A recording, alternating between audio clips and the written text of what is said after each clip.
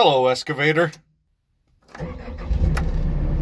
Between the welders and the operators, I'll let it be known, unlike some operators, I was not born with two sticks in my hand. Two sticks? That's one stick in two hands.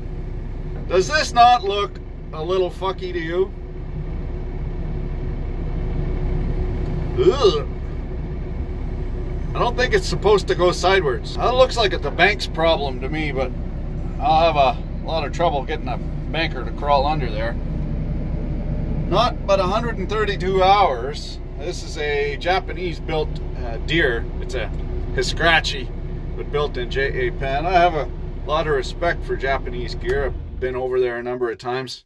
Worked, uh, it's always very clean and if it's got to be done a certain way, they do it a certain way. Well, that ain't no fucking good at all. The pin just about walked all the way out. So the fastener fucked off. What are the odds of getting a metric fastener on a Saturday?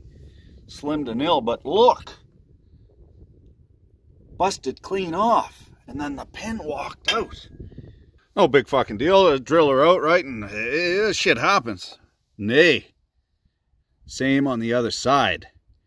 We were born to die, and equipment was born to be recycled back into Earth Mother Gaia, slowly but surely receding into scaled rust.